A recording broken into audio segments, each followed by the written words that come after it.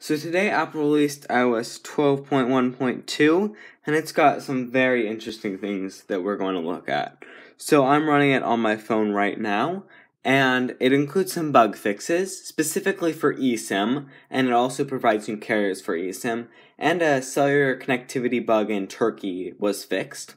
Now this is only for the iPhone and probably the iPod, but not the iPad, not the iPad, it's not on the iPad. And it probably also addresses an issue with China. So iPhones in China, certain ones before the iPhone 10 were banned because of an issue with copyright infringement with Qualcomm. It has to do with patents and things like that with interacting with the touchscreen display and photo editing. So, kind of vague, some interesting things there that they were trying to fix. And this iOS update probably changes this to comply with the Chinese government, but probably only in China.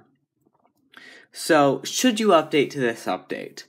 I'm gonna say maybe not right now because I had some issues when trying to download it and you don't you wouldn't want to cause problems with your sim or anything that this changes. So i would say wait a day or two to see if any bugs pop up or are found. And if you don't see anything happening then you should update to it. And turn off automatic updates so that you don't have a problem with that updating for you. So what else? Um ios 12.1.3 12. 2, I don't think there'll be a 12.1.3 unless there's another big bug.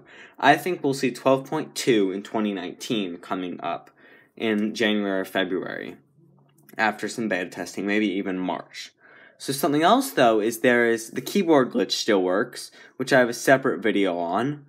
And so Apple still hasn't not gotten around to fixing that. I don't think they know about it.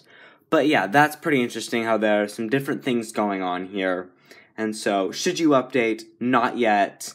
This fixes some simple glitches and bugs. I'm Ask Howard. Thanks for watching. Bye.